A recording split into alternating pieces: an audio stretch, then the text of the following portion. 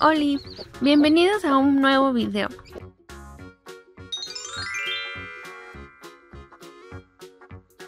Pues el día de hoy vamos a hacer la ovoscopía de mi otra gallina que se me encluecó.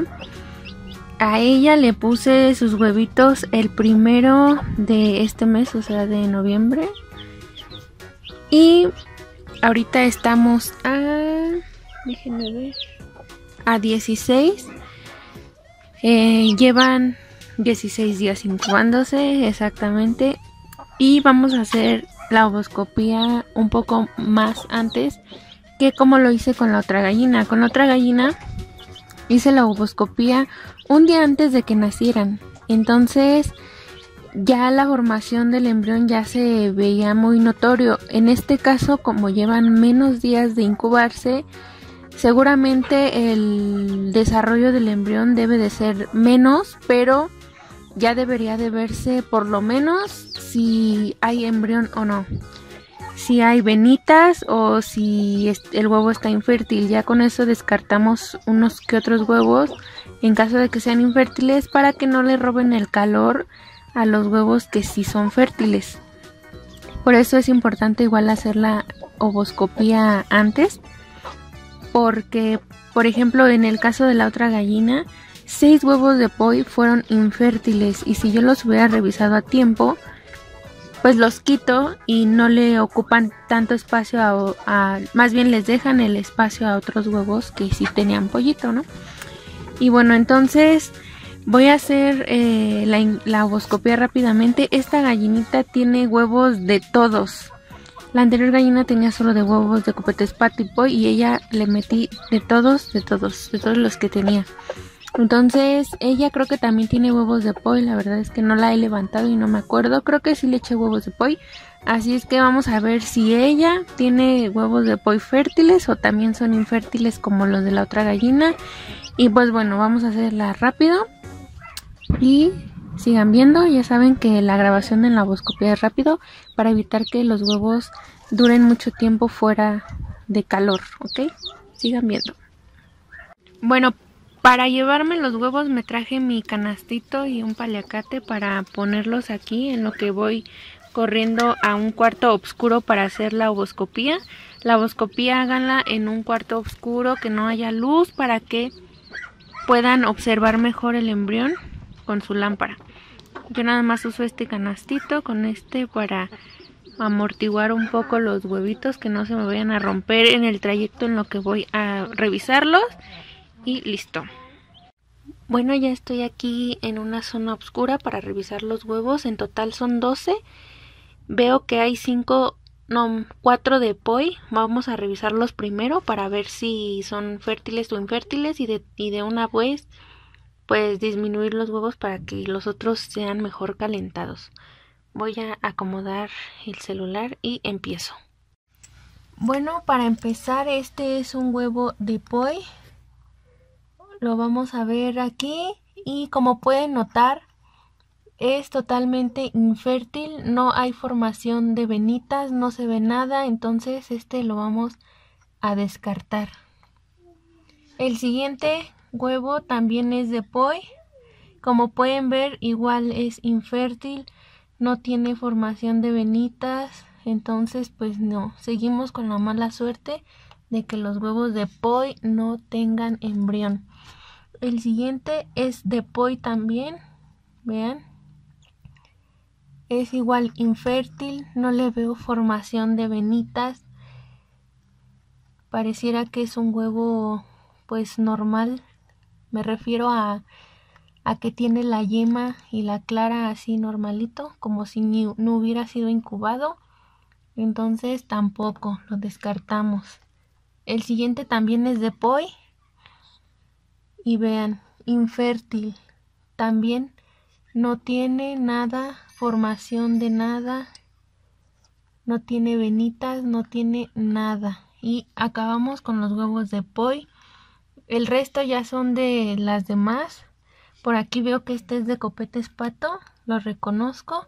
Si se pueden dar cuenta, aquí está. Este huevo tiene formación de algo, se ve oscuro Eh, no alcanzo a ver movimiento, pero mm, no. Ay, aquí está. A ver. Si se dan cuenta, el huevo está oscuro, solamente vean, aquí no entra ni la luz de tan, de tan oscuro que está, vean aquí.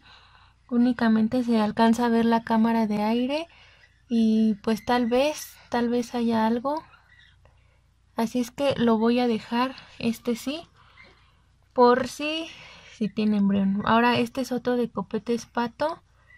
Este, la verdad lo veo muy raro.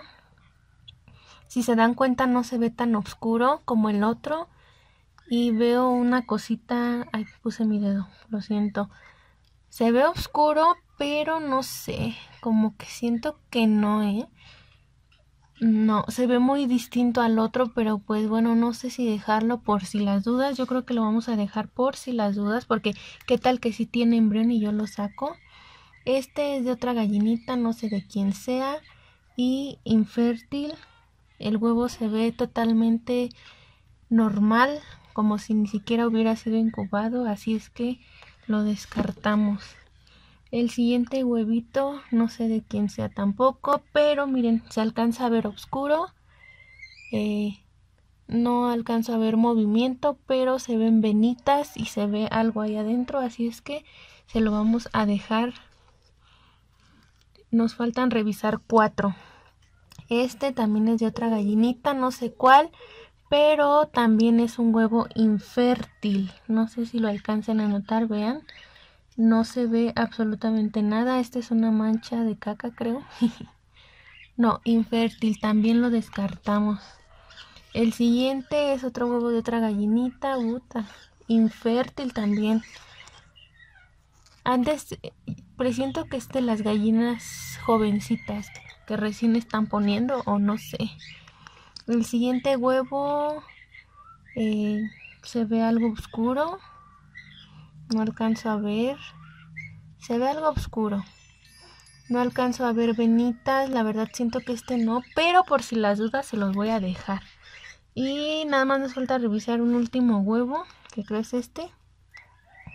Este también se le ve algo oscuro. Pero siento que está batido. La verdad no creo que aquí haya algo. Ay, no sé. La verdad creo que este tampoco. Eh, este huevo se le ve algo oscuro, pero está líquido, está totalmente líquido y así no se debería de ver. Esto da a entender que está batido, que está podrido, no veo venitas, entonces este lo voy a descartar. Y pues desgraciadamente solo estos son los que sí sirven, estos cuatro según, porque tampoco es seguro, no vi movimiento y estos son los que se descartan. Vean cuántos huevos descartados y cuánto le voy a regresar a la gallina y pues bueno voy rápidamente a regresárselos a la gallina y ahorita les comento. Pues ya le regresé los cuatro huevitos. Ahí están tres cuatro los únicos que según yo se les alcanza a ver algo oscuro la verdad como que no sé, hice la ovoscopia rápido, pero ya tengo cierta experiencia en ver eh, los embriones dentro del huevo y no sé, como que la verdad no le veo muchas esperanzas a esta gallina de que tenga un pollito. La verdad es que sí los vi raros. Ahorita va a aprovechar para comer un poco.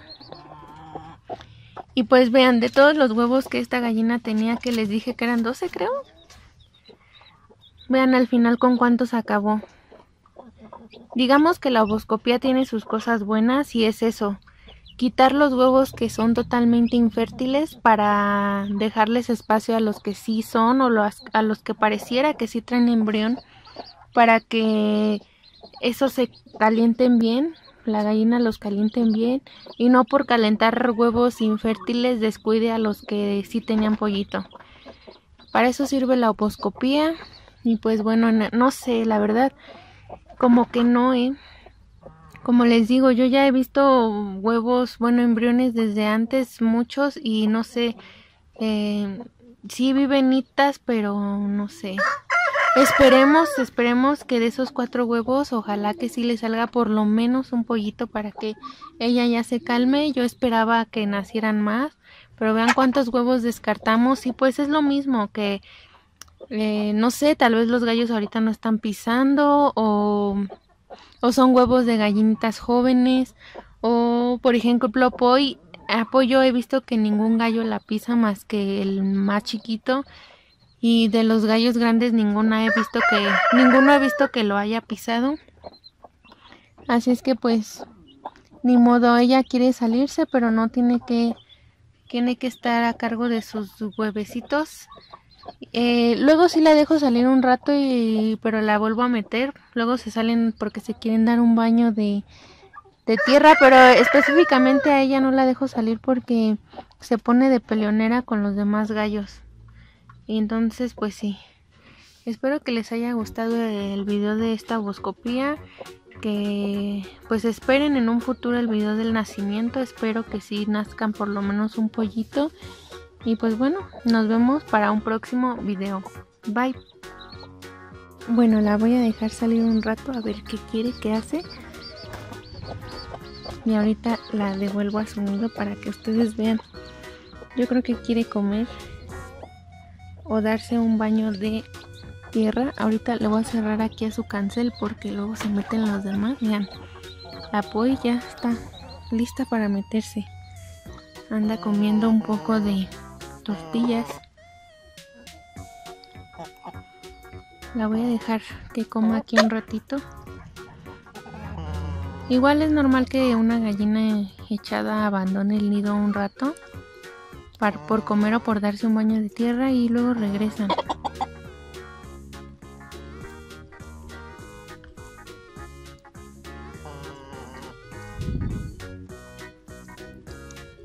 Ush, hizo del baño y ni cuenta me di y vean qué cacota tan más horrible.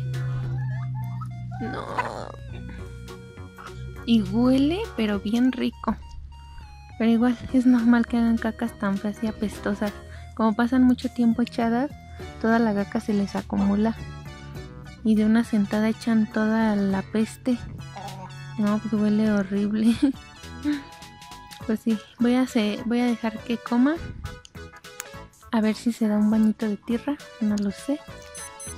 Aquí están mis demás pollos. Luego esta gallina saliendo se agarra del chongo con los gallos. A ver si, si no ahorita se agarra.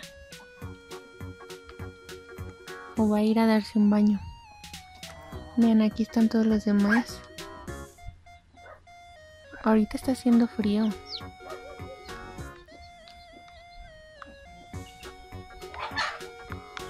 Vean esta gallina de que está comiendo sus tortillas remojadas como tiene el copetazo. Pues sí, miren, efectivamente fue a comer un poquito y supongo que dispone a darse un pequeño baño de tierra. Y terminando, al nido.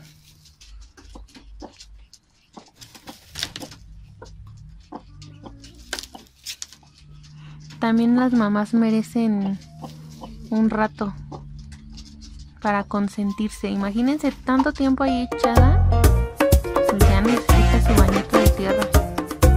está bien porque las gallinas suecas son muy propensas a que se coruquen, a que tengan muchos corucos y con los baños de tierra ustedes saben que se